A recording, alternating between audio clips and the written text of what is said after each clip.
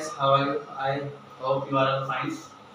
So today I will discuss about the topic magnetic field to bar magnet. बेटा आज जो हम discuss करने जा रहे हैं magnetic bar magnet on equator line axial line पे हमने डिस्कस कर लिया था। इक्वेटर लाइन के ऊपर डिस्कस करेंगे। तो सबसे पहले डायग्राम देखिए। डायग्राम में हम देख रहे हैं एक बार मैग्नेट दे रखी साउथ नॉर्थ पोल किस प्रकार से है।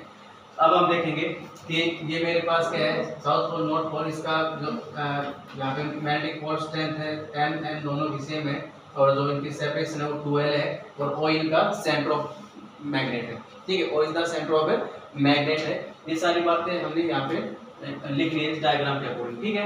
अब देखेंगे हम यहाँ पे मान लेते मेरे पास पी पॉइंट पे नॉर्थ पोल से हो रहा है यहाँ पे कैसे हम इसको यहाँ पे मेजर मानेंगे। ठीक है तो हम देखेंगे नॉर्थ पोल है और इस प्रकार से हम देखेंगे एंगल आपके पास फाइव बढ़ा रहा है इसके साथ बार मैग्नेट के साथ तो यहाँ पे रिपल्सन होगा बी एन तो मैग्नेटिक मोमेंट है यहाँ पे नॉर्थ पोल की वजह से मैग्नेटिक फील होगा और बी एन यहाँ पे रिपल्सन दिखाएगा बी एन ठीक है?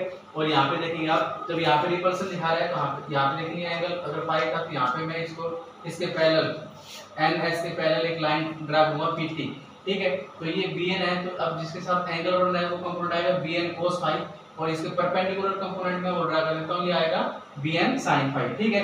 अब दूसरी बात, यहाँ पे देखता हूँ पी है, यहाँ पे मान लो ये नॉर्थ पोल और साउथ ये साउथ पोल अट्रैक्शन होगा तो यहाँ पे इसका स्ट्रेंथ आएगी, वो इस प्रकार से आएगी साइड स्ट्रेंथ ठीक है?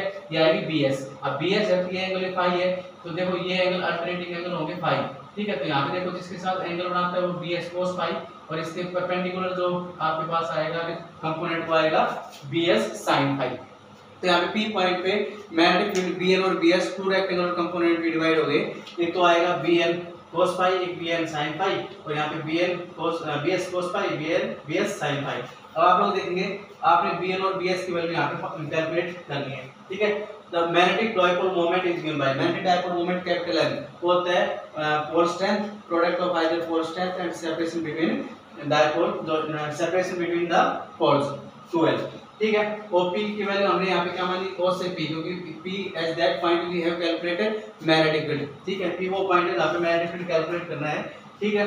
तो यहाँ पे इसकी वैल्यू P रहेगी और OX 1 देखो यहाँ से O से लेके ये P की वैल्यू यहाँ पे OP ना सॉरी यहाँ ये आपकी वैल्यू एस ओ या ओ एंड ये लेंथ एल रहेगी। ठीक है? अब इस फिगर के अकॉर्डिंग हम राइट एंगल ट्रायंगल मानते हैं। पी राइट एंगल ट्रायंगल है। पी एस ओ ठीक है एक रहेगी। N N P N O. ठीक है, इन दोनों के केस में हैं एस पी का स्क्वायर यानी पहले हम देखेंगे एस पी का स्क्वायर क्या होगा? एल का स्क्वायर प्लस डी का square D square plus L square इसी प्रकार से एन पी रहेगा एन पी एन पी क्या रहेगा? भाई, आपके एल स्क्वायर प्लस का डी स्क्वायर तो ये दोनों वैल्यू हमने यहाँ पे निकाल लिए, ठीक है? क्लियर अब B N B S are the magnetic field at point P B N और बी एस निकालो magnetic field at point P जो कि इक्वेटोरियल लाइन के ऊपर है टू नॉर्थ पोल और साउथ पोल की वजह से। तो बी एन की वैल्यू निकालूँगा बी एन होगा mu naught four pi M N P का स्क्वायर एन पी की वैल्यू हमने निकाल के D square plus L square और यहाँ पे एन पी प्रोड्यूस देखो एन से पी की तरफ़, जो डायरेक्शन होगी एन पी की तरफ़ आउटवर्ड रहेगी इसकी। ठीक है B S mu naught four pi M S P का square mu naught four pi M D square plus L square along P S ये पी से एस की तरफ़ इसकी डायरेक्शन रहेगी, आपको डायग्राम में दिखाई दे रहा है। ठीक है रिजोल्विंग बी एस और बी एन मैंने पहले बता दिया था। टू रेगुलर कंपोनेंट में रिजोल्व कर देंगे। ठीक है? एक रहेगा B S cos five B S sine five B N cos five और बी एन साइन फाइव अब आप देखते हैं इक्वेशन ये आपकी सेकंड की होगी इक्वेशन आपकी क्या है? थर्ड देखो, दोनों इक्वेशंस के अंदर ये वैल्यू आपकी क्या होगी? इक्वल आएगी ये वैल्यू दोनों इक्वल आ रही इसका मतलब बी एन और बी एस है, उनका मैग्नीट्यूड क्या है, दोनों का इक्वल है। इक्वल मैग्नीट्यूड है, इसका मतलब देखो equal magnitude but opposite direction तो ये जो साइन वाला कंपोनेंट आपके पास B S B N sine five और बी एस साइन फाइव ये कंपोनेंट आपका क्या हो जाएगा कैंसिल टू ईच अदर इसको हम क्या कर देंगे, यहाँ पे कैंसिल कर देंगे। तो यहाँ पे हम लिख सकते हैं B B N sine five and B S sine five cancel to each other ये आप क्या हो जाएगी? कंपोनेंट आपका कैंसिल हो जाए। क्यों? क्योंकि इनका क्या है? Same magnitude but opposite direction magnitude same है अपोजिट डायरेक्शन में तो हम नेट मैग्नेटिक फ़ील्ड निकालेंगे क्या आएगा? एन कोस फाइव और बी एस साइन फाइव आपका नेट मैग्नेटिक फ़ील्ड रहेगा, जो हम अभी डिस्कस करेंगे तो देखिए। सो डियर स्टूडेंट्स अब जो हम देखेंगे, इसमें आगे देखते हैं। हमने क्या है टोटल मैग्नेटिक फ़ील्ड निकालना पॉइंट के ऊपर। ये कैंसिल हो गए थे बी एन और एस आपस में क्या थे? Equal magnitude but opposite direction ये सेम डायरेक्शन एक्ट कर रहे हैं। डायरेक्शन होगी पी से डी तो total magnitude B N cos five plus B S cos five B N और बी एन और बी एस के अंदर हम देखें इक्वेशन में बी एन और बी एस की जो मैग्नीट्यूड है वो इक्वल है तो यहाँ पे twice of B N cos five ले लेंगे। अब एक इन ट्राइंगल्स की बात करूँ मैं इन ट्राइंगल्स यहाँ पे, इन ट्राइंगल्स एस ओ पी यहाँ पे कोस फाइव की वैल्यू निकालूँगा कोस फाइव को एल तो कोस फाइव होता है बेस अपॉन हाइपोटेन्यूज हाइपोटेन्यूज क्या आपके पास? यहाँ पे डी स्क्वायर प्लस का एल स्क्वायर का स्क्वायर रूट ये वैल्यू आई है यहाँ पे। ठीक है तो यहाँ पे स्क्वायर रूट आ जाएगा। देखो ये value mu naught four pi M L square plus D square plus L square L D square plus L square की या स्क्वायर रूट को वन बाई टू लिख दिया मैंने यहाँ पे। अब देखो, यहाँ पे हमने क्या करते हैं, इस टू को मैं क्या लिखता हूँ जिससे एल के पास लेता हूँ। एम इंटू टू एल और D square plus L square की थ्री बाई टू क्योंकि वन पावर ये है और हाफ़ पावर ये है तो थ्री बाई टू पावर आ गई इसकी। ठीक है? और m into twelve magnetic dipole moment हो गया तो कैपिटल M लिख देंगे इसको mu naught four pi D square L square three by two if dipole is very small अगर डायपोल मेरे पास स्मॉल हो तो यहाँ पे d है वो ग्रेटर ग्रेटर देन क्या होगा? L. लेंथ है यहाँ पे डिस्टेंस है P point for greater than है इससे l से. ठीक है? तो हम क्या करते हैं इसको इग्नोर कर देंगे l को तो d स्क्वायर माइनस यहाँ ज़ीरो कर देंगे यहाँ पे तो d स्क्वायर से स्क्वायर रूट हट जाएगा तो क्यूब इसकी वैल्यू आ जाएगी mu naught four pi m d की पावर क्यूब d की power three along P T तो डायरेक्शन आएँगे पीछे टी की तरफ़ आएगी, ठीक है? यहाँ ये क्लियर होता है। अगर एक नोट लेते B axial twice of B equatorial axial और इक्विटोरियल में जो, क्या आएगा? यहाँ पे रिलेशन आएगा, वो क्या आएगा? ये आएगा आप लोग पास बी एक्सएल और ट्वाइस ऑफ़ बी इक्विटोरियल ठीक है? एक्सएल लाइन है ट्वाइस है. क्योंकि उसके अंदर एक्सएल लाइन के अंदर ट्वाइस ऑफ़ एम आया है यहाँ पे. ठीक है? आई होप यहाँ पे क्लियर हुआ होगा आपको. सो डियर स्टूडेंट्स अब हम एक मोस्ट इंपॉर्टेंट टॉपिक करने जा रहे हैं टॉर्क होने बार मैग्नेटिक मैग्नेटिक। टॉर्क होने बार मैग्नेटिक मैग्नेटिक। सबसे पहले हमने यूनिफॉर्म मैग्नेटिक फ़ील्ड ड्रा की।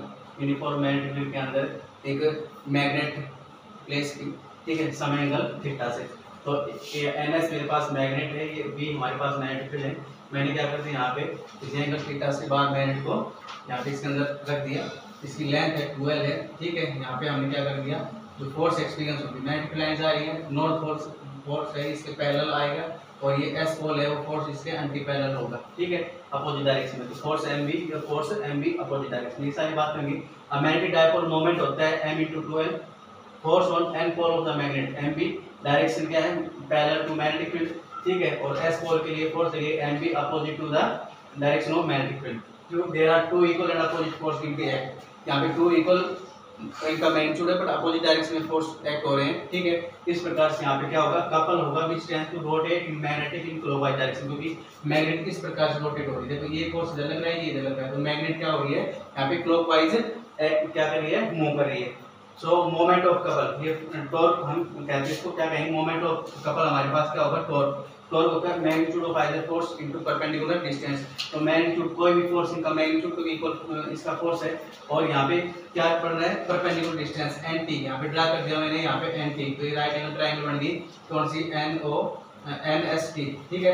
तो यहाँ पे मैंने साइन थीटा निकालना है तो N T upon N S N T की वैल्यू कैलकुलेट करनी है तो यहाँ पे एन टी की value N S sine theta N S की वैल्यू एन एस नॉर्थ और साउथ पोल के बीच की जो डिस्टेंस हो ट्वेल्व हो जाएगी तो ट्वेल्व साइन थीटा हमारे पास वैल्यू आ जाएगी। तो हमने यहाँ पे लिख दिया M B into N T N T value है ट्वेल्व साइन थीटा और यहाँ पे देखेंगे, ये एक कांस्टेंट है और ट्वेल्व इनको हम लिखते हैं capital M magnetic dipole moment और बी साइन थीटा और और इनको अगर क्रॉस प्रोडक्ट में लिखेंगे तो M cross B sine theta को हमने क्रॉस प्रोडक्ट में लिखा स्पेशल केसेस में देखेंगे। थीटा अगर ज़ीरो डिग्री है तो इस केस में साइन ज़ीरो ज़ीरो होता है। तो हमारे पास क्या होगा? थीटा ज़ीरो डिग्री है तो हमारे पास टोर्क क्या रहेगा? ज़ीरो अगर थीटा 90 डिग्री है तो टोर्क हमारे पास क्या जाएगा? मैक्सिमम आ जाएगा साइन 90 की वैल्यू क्या होती है? यहाँ पे वन होती है। आई होप कि आप लोग क्लियर हुआ होगा और आशा करते हैं कि आप इसी प्रकार से हँसते मुस्कुराते रहें और वीडियो को लाइक और सब्सक्राइब ज़रूर करें। Thank you have a nice day